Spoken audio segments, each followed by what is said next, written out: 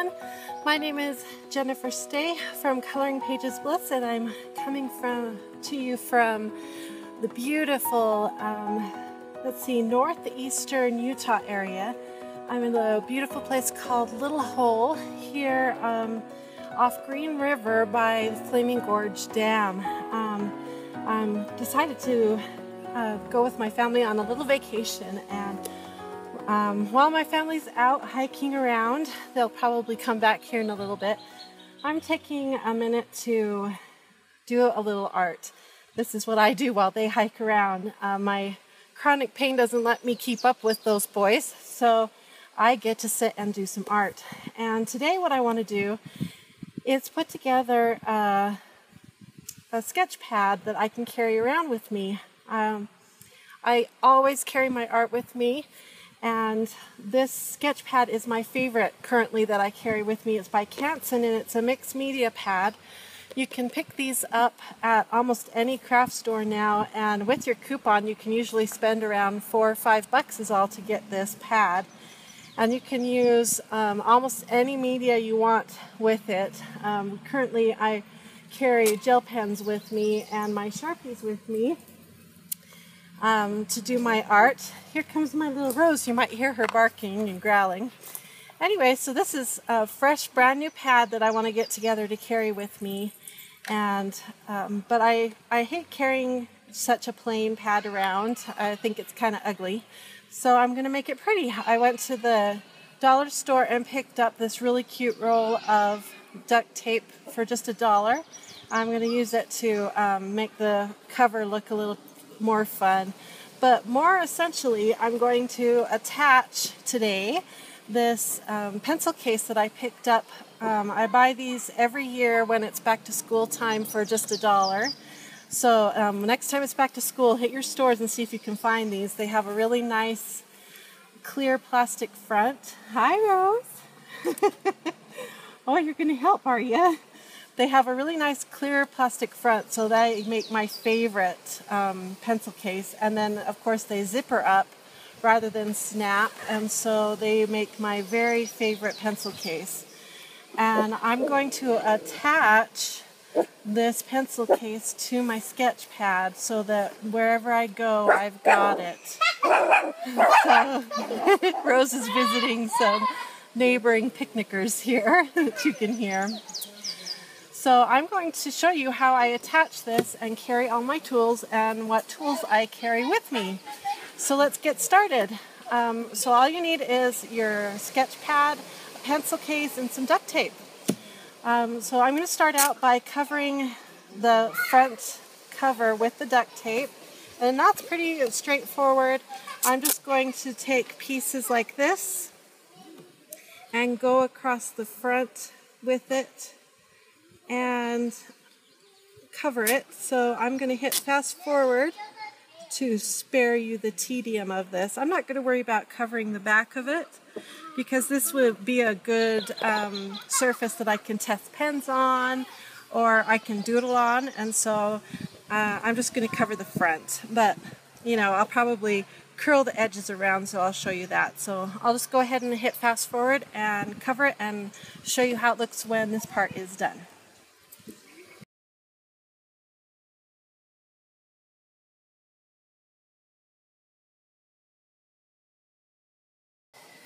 Okay, so I've got the front covered and I'm just going to do the last bit. Um, these edges really take a beating when you dump it in your purse and you're dragging it around and stuff. Um, well, you know, you don't drag it around, but you get my gist here. So um, I'm just going to kind of fold this up and bring it over. Uh, I picked this up at the dollar store, I think it was around Easter time just for this because I knew my sketch pad was going to be um, almost done. I go through these sketch pads. They go with me everywhere doctor's appointments, church.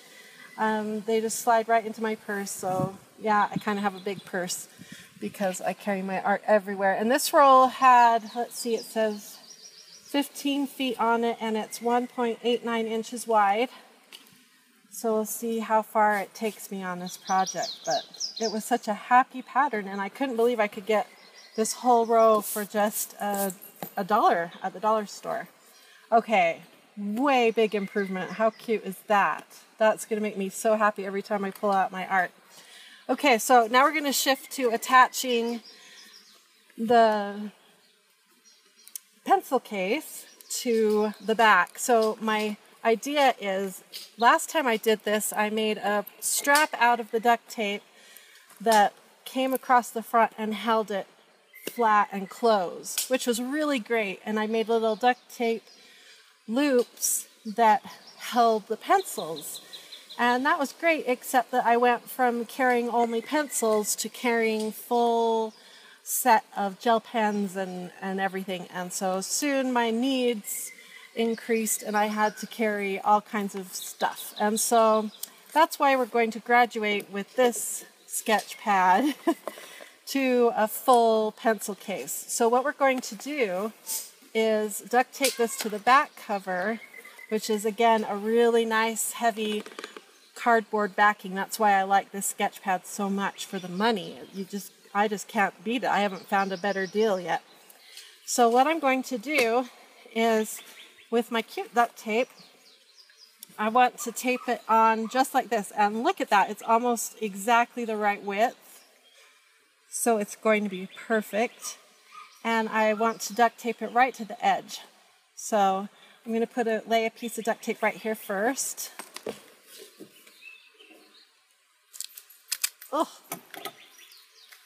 you can't beat duct tape for its stickiness, but man, is it a pain to work with.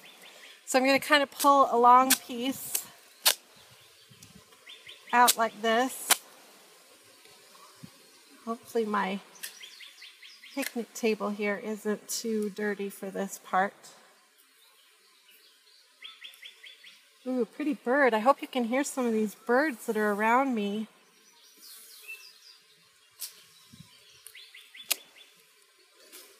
It's July and today the weather, last night the a wind storm swept through here. And so today the weather is a lot cooler and it's perfect for me. I have heat intolerance, so it's perfect for me today. And the birds are out and happy. Okay, so I think it's in frame. Is it in frame? you can see I have this piece of duct tape stuck to the back here. And I'm going to take my pencil case and lay this right on top. I hope you can see that. And press it really good. Duct tape does have its limits, so we're going to really press that down.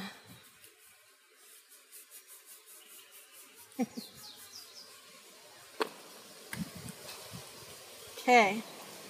Now I'm hoping this little three ring binder hole is going to help us get this duct tape to stick. So we're going to bring this over the top. Like that. And with one of my pens here, I'm going to really press down into that three ring binder hole and kind of get that duct tape to kiss each other there to make that seal as good as possible pull that duct tape out a little farther.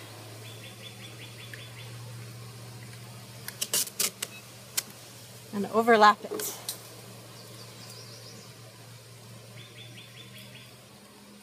I remember when I was a little girl, our cars always seemed to be breaking down and I thought my dad could fix anything with duct tape. It seemed like no matter what happened to our cars, from my perspective, he was always pulling out a roll of duct tape and fixing it. And so every time I use duct tape now, in any part of my life, I have to smile and I think of my father, my awesome dad, and how when I was a little girl, I thought he could fix and do anything with duct tape. So I love using duct tape. Okay, I'm going to give this a tug and we'll see how we did. It looks so cute. This just makes me smile.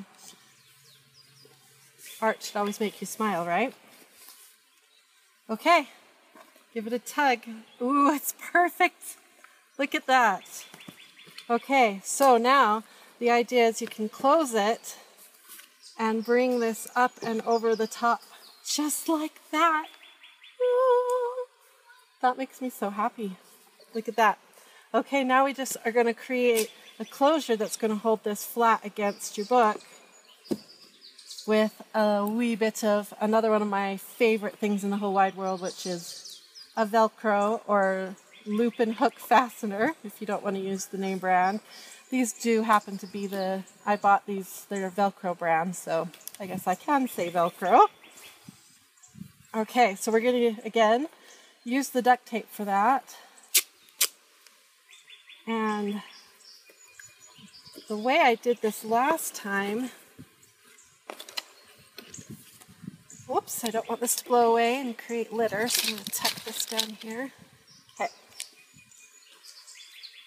The way I did this last time was I pulled out a huge piece. See if I can do this in the breeze. and without getting a fly in it. Okay, so we want enough tape here that it's going to attach itself with stickiness to here, but then be loose against here. It doesn't need to stick on here. I'll show you. It's going to be more um, easy to understand once you see the grand scheme here. So I'm thinking at least double my length here. So can always cut off more, but it's hard to put more on. Wonder if you can see Rose running around in the background. Last year when we took her on this on the trip, she didn't do very good in the car. This year she's doing really good. So it's been really fun. Okay, here we go. So now I'm going to fold this over, but I want to leave some of the tape exposed. Just like this, easy, easy. Maybe about that much of the tape exposed. Line it up as best as you can. There. You can hear our neighbors in the background. There are a couple cute little girls and family over there. This little hole place is where the river rafters get out. And they fly fish. I think this is one of the most famous fly fishing locations in the world, or at least in the country. Okay, so I folded it back on itself to create that pretty loop. Got this nice long strap with the sticky on one end now. And flip it over. And right in the center, as straight as I can, this way. Stick that down really good.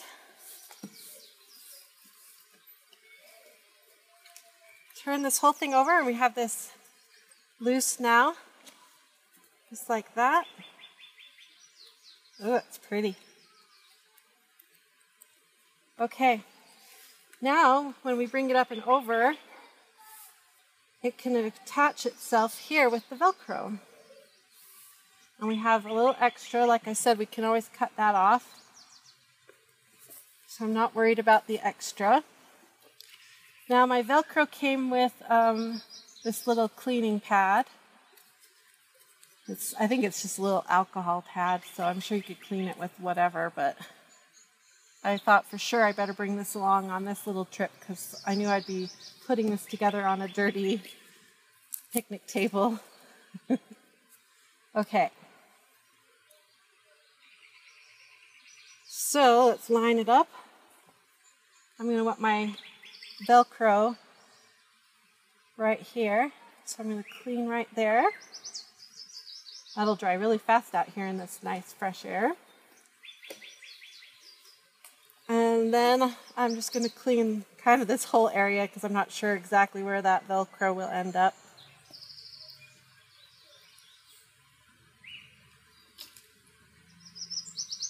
I'm so excited to have a new sketch pad to take with me. I use this to take notes. So if I attend a meeting, I can take notes with it. Um,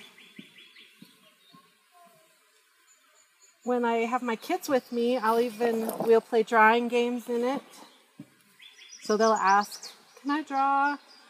So we'll draw together, or I'll tear out a page. They have perforations, so I'll tear out a page, let them draw on it, and then when I get home, I tape the page back in with um, some decorative tape, like some washi tape.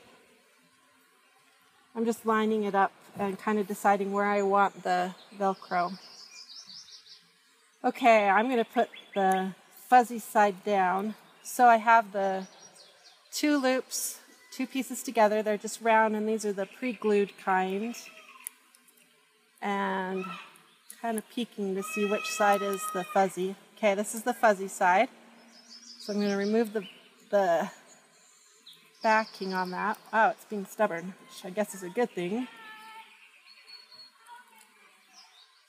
Anyway, so if I take out a page in this book, I'll go home and I'll tape it back in so it kind of becomes a journal of all the places this sketch pad has been.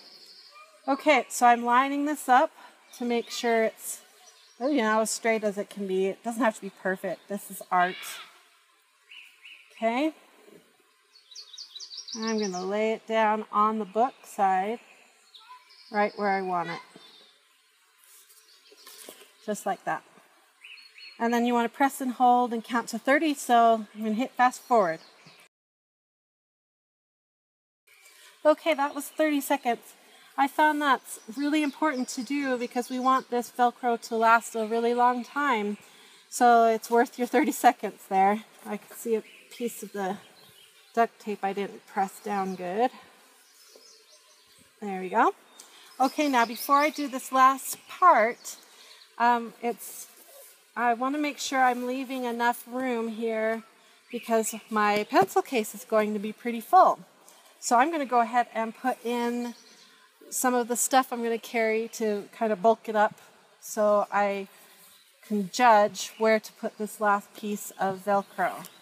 So in my pencil case, I carry um, a drawing pencil with a really good eraser on the end, a couple Sharpies of different sizes. I've got a fine point and an ultra fine point, I've got a Staedtler Triplus Fine Liner that I'm carrying around lately. Um, I've got a cute little ruler which I don't use very often for this kind of sketching, but once in a while I wish I had a ruler, so I just throw in a cheap little ruler that, again, I pick up during um, back to school shopping. These are like a dime, you know, so that's the time to shop for this kind of thing. And then I have a whole bunch of gel pens. This is a set I picked up in the scrapbook section of my store, and I believe this is a Elmer's brand set that I've been playing around with to see if I like. So that's going to go with me so I can keep playing with that. And then I also picked up, oh, I also have here um, one of my favorite things to carry around, which are 3x5 cards that I use to test my pens on and do that tapping technique to get your pens to go. If you want to learn more about how I use my gel pens, check out, I have a gel pen tutorial video on my YouTube channel. So check that out and you can see how I um, take care of my gel pens and use these 3x5 cards. And then I also have a little set of Faber-Castell Polychromo pencils, pencil crayons or colored pencils, depends on how you say it, that I haven't tried out yet. I'm a Prismacolor girl, so I picked up a 12 set and I am going to experiment with these and see how I like them. So that's going to sneak into this very full bag. Yeah, I kind of carry a lot of art stuff. and then I also carry around with me one of my Bliss Breather mini coloring books. This is volume one. It's available as a free download on my website, coloringpagesbliss.com. So come and check it out. I have a, let's see, just one page, or do I have two? I have two pages colored in here already. Um, and these are really fun little uh, quick breather. If I just have 10 or 15 minutes to color, I'll pull, pull this out and color in it. This is a really great thing to have. So if I'm not in the mood to draw I don't want to think, I just want to take a breather and color for a minute, that's what this cute little mini coloring book is for. There's four volumes, so come to my website and check that out. And that can tuck right in here as well. And all of this will zip up into here and I can see it all because it has the clear opening on my pencil case. I love these. And then because of the way we sort of hinged this, I can bring it up and over. Look how handy. I'm so excited. Okay, now we can accurately judge where on this strip I want to do the final attachment of the Velcro. So I'm just going to remove, I hope you can see this, I hope I'm in frame. I'm going to remove that final piece of plastic, the, um, oh, okay, we'll do it this way. Remove the final piece of plastic, and I just put the loop part. Come on. Yeah. Put it right back on top of the part that we've already secured on the book so you know it's going to line up. Bring this around, line it up, give it just a little slack in case someday you decide, you know, I gotta bring more things with me. and touch it down. Press and hold, and go ahead and count to 30 again, and I'll hit fast forward. Okay, that was my 30 seconds. Look how cute. Okay, now we're going to cut off the excess. I think I'm going to do a cute little triangle cut on here. Let's see if I can do it. Oh, let's do this simply, people. This around and cut a cute little triangle.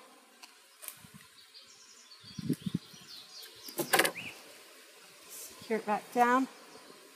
There you have it. Let's get out there and do some art. I hope you enjoyed this tutorial. Please subscribe to my channel and come and visit me on my website, coloringpagesbliss.com. And I hope you have a blissful and colorful and beautiful day. Thank you.